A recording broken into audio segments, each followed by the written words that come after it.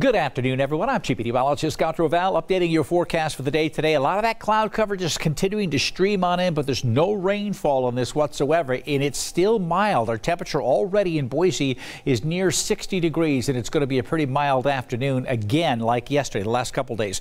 49 in McCall. We're talking pretty mild temperatures for this time of year. The back edge of the cloud cover you see to the west there with some sunshine showing up. I think we're going to keep generally a mostly cloudy sky today. We'll get a little sunshine maybe the middle part of the afternoon. But look at these temperatures again. At least 62 for the high temperature. We've got a potential to go to 65 again today. A little bit of a breeze around, but nothing major going on. Look at this extended forecast coming in. Temperatures staying mild for the next couple days. 62 on Wednesday, upper 50s Thursday and Friday. Still dry sunshine Thursday and Friday.